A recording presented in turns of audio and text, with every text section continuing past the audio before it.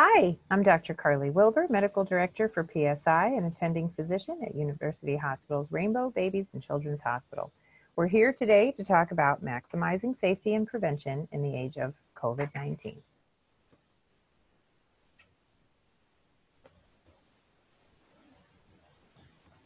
Today's agenda will include a pretest, some COVID fast facts, acute mnemonic from Rainbow Babies and Children's Hospital, the A's, B's, C's, D's of COVID-19 safety and prevention. We will cover the preventative measures that most experts agree will keep you safe from getting COVID-19, and then we'll have a post-test and see how much we've learned today. Here's a sample of the pretest. Some of the questions include true or false, COVID-19 is the 19th coronavirus to be discovered. The novel coronavirus is fatal X percent of the time in most cases. We'll talk about the symptoms of COVID-19, which are true, which are not, uh, whether or not masks are actually helpful in stopping the spread of coronavirus, and what we know about current cures and treatments for COVID. We'll cover all of this information and more in the coming slides. COVID-19 fast facts. While there remains some debate about how the virus entered the human population, we do know that the first recorded case of coronavirus occurred in Wuhan, China at the end of last year. It's called COVID-19 because it's a coronavirus infectious disease, disease discovered in 2019. In terms of contagion, to date, our species has not experienced a more virulent or contagious germ. We've all had or seen flu or strep, and part of the barrage of questions your doctor has for you in the office now includes what exposures you've had to COVID. With COVID-19, a person can enter a space where a contagious person stood hours ago and still be at risk. Symptoms can be tricky since not everyone with this coronavirus exhibits symptoms. Indicators of infection run the gamut. Fever, weakness, headache, loss of taste and smell, cough, chest discomfort, difficulty breathing, abdominal pain, appetite loss, diarrhea, painful rashes, stroke, respiratory, and cardiac failure. Mortality rate ranges from one study to the next. In general population, death due to mild coronavirus infection is unlikely and hovers around 1%. However, data from patients who got sick enough to require an ICU stay show a death rate of almost 30%. What we don't know because of insufficient availability of testing for the general population is how many asymptomatic patients are positive for COVID. Tests for the COVID antigen looking for current infection include a swab up the nose, and they can take anywhere from 15 minutes to three days to report results. These tests can produce false negatives if the swab didn't collect an adequate sample from deep in the posterior oropharynx. Antibody tests look to identify patients who have had previous resolved coronavirus infection. These are done through a blood draw and they can result in false positive test results if the test recognizes an older coronavirus antibody from a previous cold and not the novel coronavirus 19. Cures do not exist at this time. A vaccine is at least several months away, and there's no definitive proof to date that serum from COVID survivors will certainly help current patients prevail. If you see something on the internet that claims to prevent or cure COVID-19, don't fall for it. Drawing on best practice guidelines issued by experts at Rainbow Babies and Children's Hospital, this easy mnemonic offers an easy to remember protocol for COVID safety. A, always wear a mask.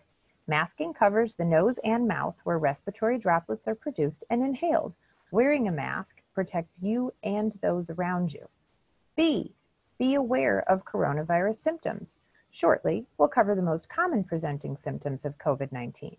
The most important thing to know is that if you feel sick, don't try to muscle through it. Instead, stay home and keep to your own space. C, clean your hands and your space. We will discuss proper hand washing techniques today and review the importance of using hand sanitizer when soap and water aren't readily available. As much as possible, try not to put your hands on commonly touched surfaces.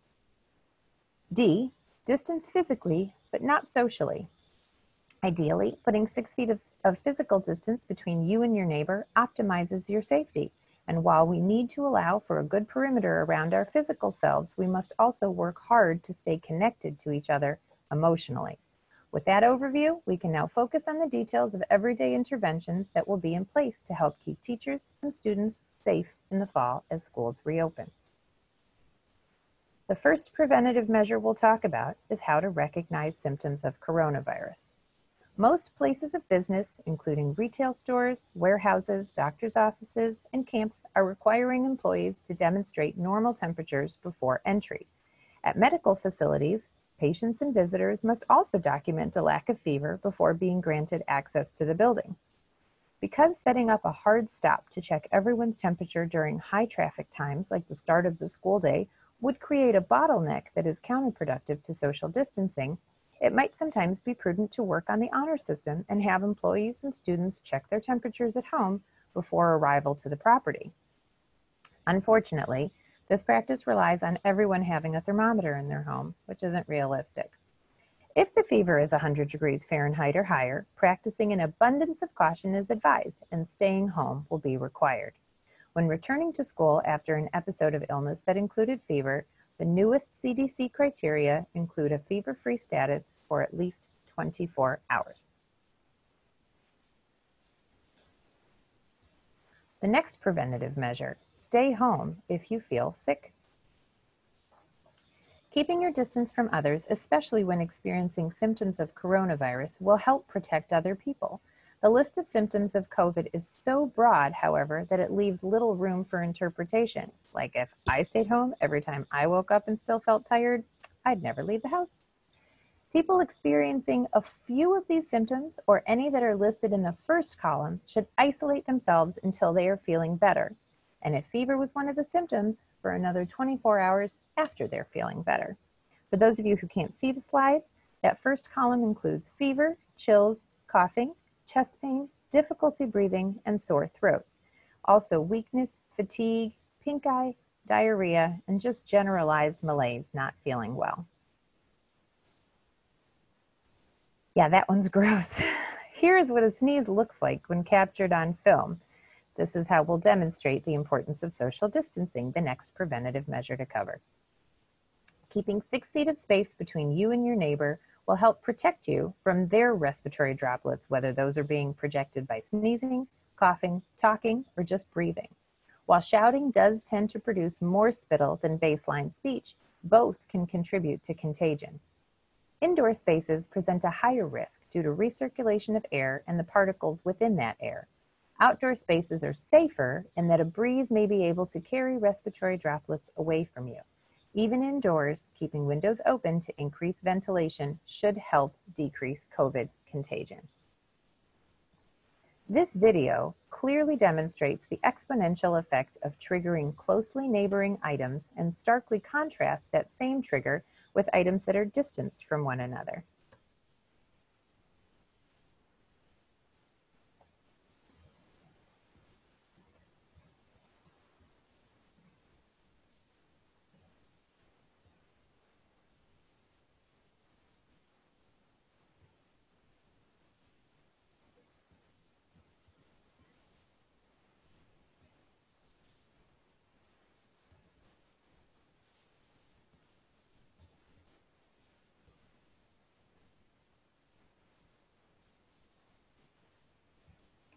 A study out of Hong Kong in May, conducted on hamsters, concluded that masking can reduce transmission of COVID by over 60%.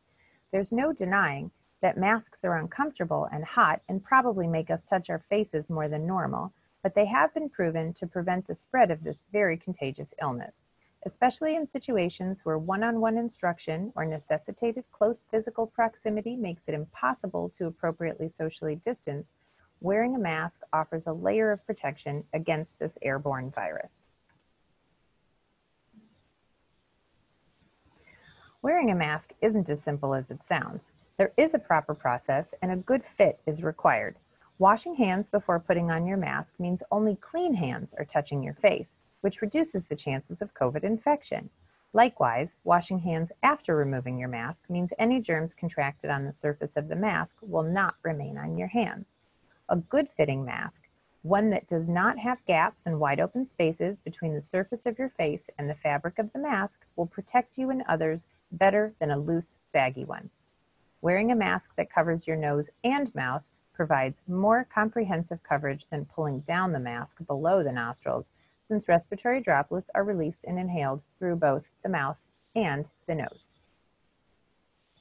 This video demonstrates proper application and removal of a disposable mask with ear loops.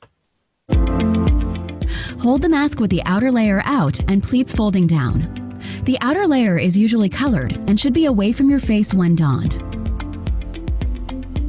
Pull to open the pleats. Press the metal nose piece to the bridge of your nose to shape the mask to your face. Pull the ear loops over your ears. Press the nose piece to your face one more time to ensure a secure fit. When you are ready to remove your mask, make sure your hands are clean and pull the ear loops back over your ears. Avoid touching other parts of the mask to prevent contamination. Hold the mask with the out Now this next video offers information about how and when to use reusable cloth masks.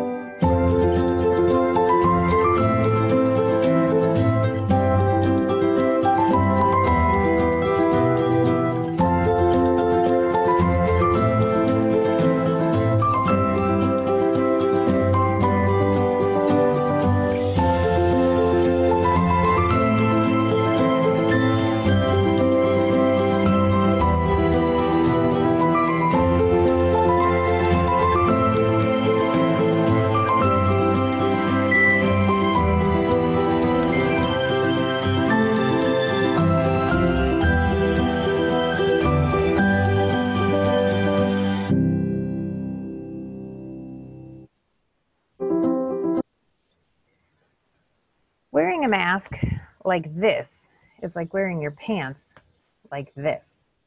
It's about as protective, practical, and attractive. No offense, Justin Bieber. Now, what about wearing a face shield as protection against COVID 19? Ideally, to provide full coverage, a face shield should curve around the sides of the face and extend below the chin. There are some benefits of wearing a face shield versus a mask. These include less of a sensation of overheating from rebreathing. For patients with underlying respiratory difficulty or claustrophobia, a face shield might be more comfortable than a mask.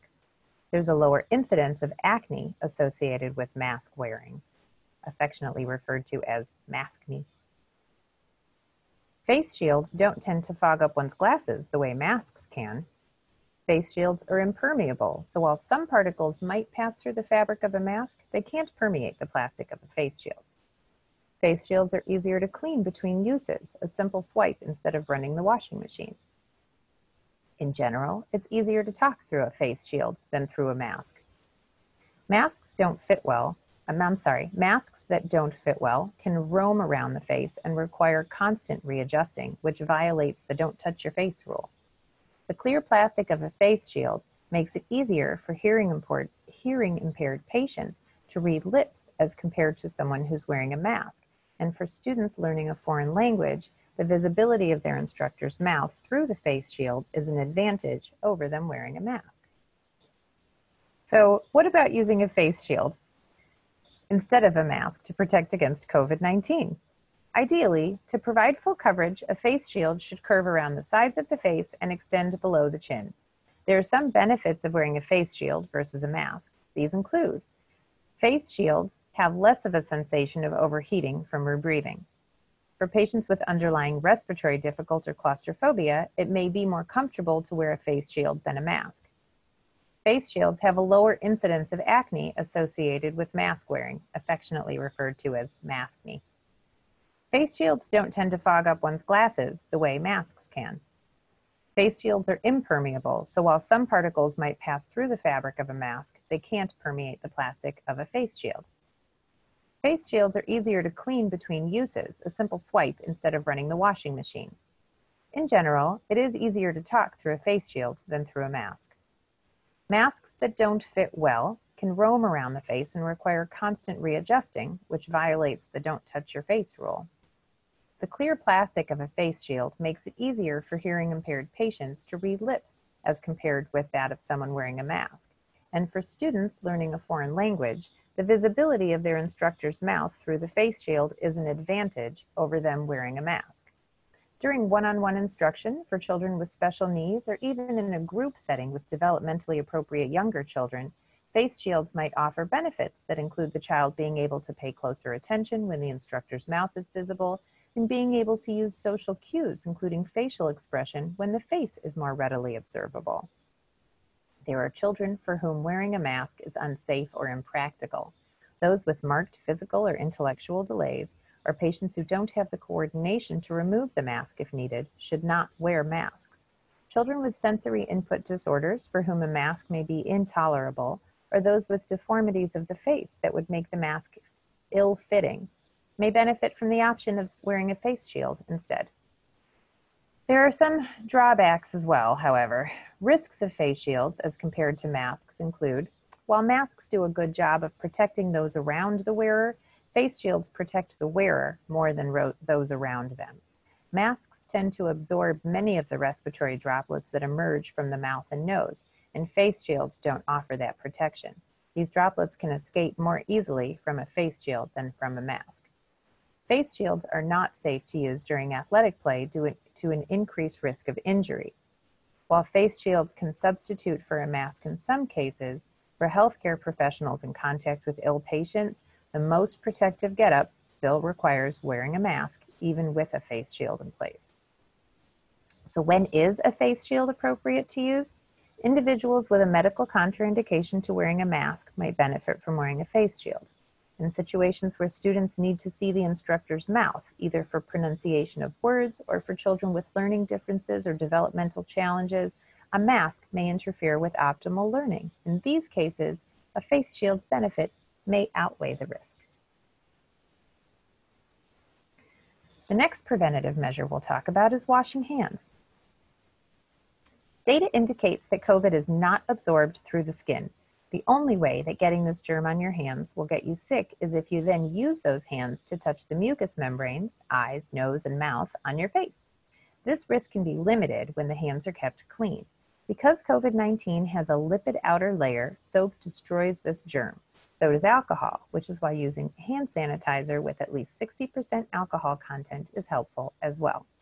Washing the hands properly will help protect you from contracting and spreading this dangerous germ making sure that the hands are washed before and after food preparation, before you touch your or your child's face, after coming into contact with public or high touch surfaces, before and after providing care to someone needing physical assistance like a child or an elderly individual, after contact with animals, after using the restroom, and after using a tissue to blow your nose, to cough, or to sneeze. Here's a video about the importance of washing hands and how to do it right. You know that the best way to prevent the spread of coronavirus is to wash your hands. Wash your hands. Do, do, do, wash your hands! But why? It's because soap, regular soap, fancy honeysuckle soap, artisan peppermint soap, just any soap, absolutely annihilates viruses like the coronavirus. Here's how. This is what a virus, like coronavirus, looks like. It's a bit of material surrounded by a coating of proteins and fat.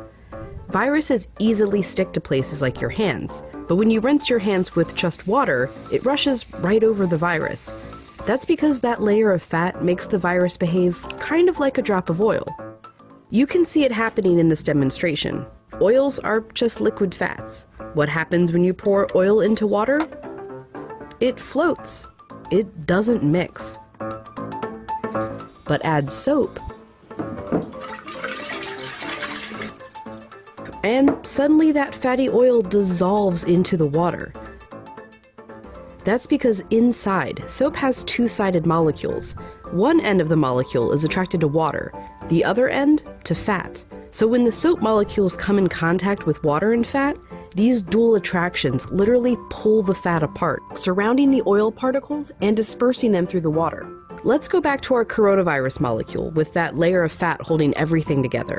When it interacts with soap, bam, that fat gets pulled out by the soap. Soap literally pulls apart and demolishes these viruses. And then the water rinses the harmless leftover shards of virus down the drain. But, and you know where I'm going with this, it takes time for this effect to happen 20 seconds to be specific. To show why, we ordered this lotion that mimics viruses and their fatty layers. It glows under a UV light. If you just rinse your hands under regular water, nothing comes off. If you wash with soap for just 5 seconds or 10 seconds, your hands are still covered. The virus is still there, able to get you and others sick. But 20 full seconds, now the soap is actually destroying the virus. Hand sanitizer works too because it's mostly alcohol, and alcohol works in a somewhat similar way to soap, breaking down that fatty layer. You need a high concentration of alcohol to make that work. The CDC recommends hand sanitizers with at least 60% alcohol. But even with 60% alcohol, the CDC recommends using soap if you can. If your hands are sweaty or dirty when you use the sanitizer, that can dilute it and diminish its effectiveness. As for soap, just any old soap works. You don't need soap marketed as antibacterial, even. The FDA says skip it. There's no proof it's any more effective. Just be sure to wash your hands for 20 seconds. That's happy birthday twice, Happy birthday, dear. I guess me. or the chorus to Lizzo's Truth Hurts, Straight to my face. Or Prince, Raspberry beret. or Eminem, Go, go. Only got or even Dolly, Jolene, Jolene, Jolene. just as long as it's 20 seconds. And you're using the ultimate virus annihilator soap. Next preventative measure, limit the spray. To limit the forced spray of respiratory droplets through the air, please be sure to cover your mouth and nose when sneezing or coughing. Using your hand is likely to result in the spread of germs once you use that same hand to touch the next surface. Using the elbow of your sleeve or a tissue as a barrier is much safer. Toss the tissue in the trash when you're done and, as you know, wash your hands. The next preventative measure is using gloves. While at first medical experts presumed that the novel coronavirus could be contagious off of surfaces, more and more evidence now points to it being carried in respiratory droplets. So while wearing gloves at all times is not necessary, using gloves still can be helpful if they are used correctly. Wearing gloves to the store and then using those same gloved hands to touch the shopping cart, the products on the shelves, and then your phone's screen, which then touches your face, hasn't really saved you from any exposure. Gloves are not necessary for everyday activities.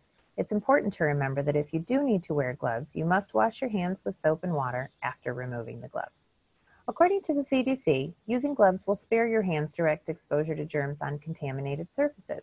So wearing gloves while cleaning and disinfecting countertops and doorknobs is wise. Similarly, when caring for a patient with known COVID 19 or any contagious illness, employing barriers like gloves are a good protective measure specifically when coming into contact with bodily fluids like mucus, blood, urine, stool, saliva, and phlegm. However, gloves are not helpful when grocery shopping and are not necessary for using an ATM or a gas pump.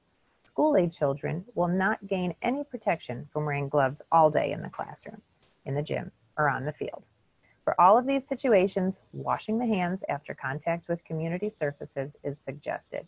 And if you don't work in a hospital or a clinic or for a sanitation company, it's unlikely that gloves are necessary for your job.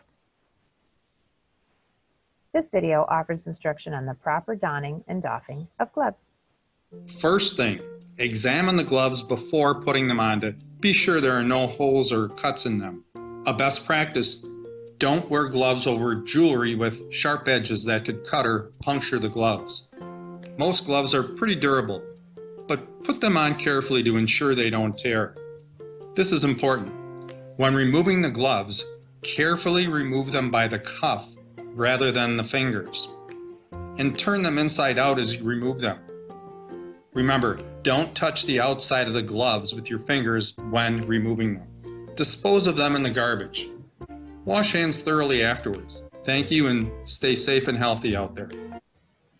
First, The next preventative measure is about how to clean surfaces. First, a few definitions. Cleaning is the process of removing dirt. Disinfecting eliminates some germs with the use of chemicals. Sanitizing aims to vastly reduce the number of germs on a surface. Using approved disinfecting solutions, frequent cleaning of commonly used surfaces can help reduce the spread of COVID. In a school setting, this would include sanitizing desks, countertops, doorknobs and drawer handles, lab and gym equipment, computer keyboards, hands-on learning items, faucet handles, toilet flushers, phones, and in early childhood centers, toys. The American Academy of Pediatrics does not recommend that children participate in cleaning with any harsh chemicals. Some surfaces require more frequent attention than others, and if classes are moving in and out of the weight room or the lab at school, these surfaces should be wiped down thoroughly between groups. At home, regular disinfection of some of these same commonly touched surfaces like bathrooms, kitchen counters, and faucets are intuitive. Also, consider parts of your home that are touched by people who don't live there, like the mailbox and the doorbell. It's time for our post test. Let's see these same questions again and figure out what we've learned today. Question number one True or false? COVID 19 is the 19th coronavirus to be discovered. I'll give you a minute. The statement is false. COVID stands for Coronavirus Disease of 2019, since the first case presented at the end of last year. Previous coronaviruses include SARS and MERS, both serious respiratory diseases, and other milder germs that are known to cause the common cold. This virus is much more contagious and aggressive, however, than any previous coronavirus. Next question. Question number two wants to know what percentage of the time coronavirus is fatal. Anybody know? The answer is A, less than 3% of the time. In the general population, COVID 19 fatality rate is low, about 1%. But compare this to the seasonal flu, whose fatality rate is less than 0.1%, and that still managed to kill about 34,000 people in the US during the 2018 to 19 flu season. So far, with over 4 million cases of COVID in the US and just over 150,000 deaths, that's what we're seeing in our country. COVID appears to be particularly dangerous in the elderly population, whose death rate can reach 10% when only patients 85 years of age and older are counted. But if you think only the elderly can catch COVID 19, look to the recent statistics that show equal numbers of infection in almost every age bracket the 20s, 30s, 40s, 50s, 60s, and reports of strokes in previously healthy young adults who got sick with this novel coronavirus. As we expand testing to include screening of individuals without symptoms, we will likely find many more cases of mild COVID illness and the fatality rate will drop even further. However, when the total number of cases in the country is over 4 million, that 1% really adds up. Question three. Symptoms of COVID 19 include, let's see who was paying attention. Almost this whole list, except for vision loss and hair loss. Although, if the stress of coronavirus is making you tear your hair out and scratch out your eyes, I suppose maybe. In all seriousness, all of these symptoms have been reported with COVID patients, other than the hair loss and the vision loss. We can't now predict who is going to suffer from which symptoms, and we can't predict how severe they're going to be. Next question. True or false, wearing a mask makes COVID less likely to spread? Please tell me you got this one right. This statement is true because COVID 19 is a germ that is spread by respiratory droplets. Wearing something, whether it's a mask or a face shield, that puts a barrier between you and the outside world will protect you from droplets in the air. When one party uses proper protection, the risk of contagion is reduced somewhat, but when both parties have their mouths and noses covered, As this drawing illustrates, the droplet spread is greatly reduced and therefore the chance of catching COVID is also greatly reduced. Wearing a mask is not a political statement, it's a smart move that relies on demonstrated scientific evidence. Question five, current effective cures for COVID include, and then there are some listed. It doesn't matter because none of them are true. Sorry, spoiler. There is currently no known cure for COVID 19. Because it's a virus, antibacterial drugs like antibiotics won't be effective against it. Some success with an antiviral medication named remdesivir has been reported, but to date, there is no reliable method of reversing the negative, negative effects of this powerful virus. The most we can hope for is not to get it in the first place. True or false? Gloves are necessary for tasks like grocery shopping. Nope. The statement is false. Gloves are not necessary for everyday activities. In fact, wearing gloves when not essential is wasteful of necessary personal protective equipment, and it's unnecessarily uncomfortable. We talked about wearing gloves when using harsh chemicals for cleaning and disinfecting, when handling bodily fluids while performing care of an ill patient, or when you must touch a commonly used public surface and you don't have hand sanitizer available to wash up afterwards. Otherwise, gloves are not recommended routinely. Next question. True or false? COVID 19 is equally contagious indoors and outdoors. I'll give you a minute. This statement is false. The open air of an outdoor setting, along with the possibility of for more space for social distancing and better airflow than an indoor venue, all help to reduce the spread of respiratory droplets. In addition, the UV rays of the sun can help sterilize some germs as well. Does that mean being in the sunshine eliminates all risk of contagion? No, but it's preferable to an indoor setting. Other heat sources, like a hair dryer, are not reliable methods of deactivating the COVID 19 germ. Outdoor play, while socially distanced and properly masked, is not only safe, but encouraged.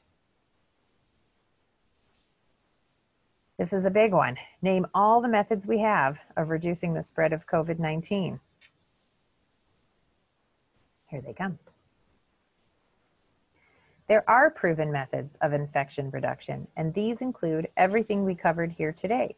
Keeping a safe distance, covering your mouth and nose with a mask or face shield, washing your hands, particularly before and after touching commonly used surfaces, keeping your hands away from your eyes, nose, and mouth, using the right chemicals to clean commonly touched surfaces, coughing or sneezing into the elbow, and wearing gloves, but only when they're medically necessary.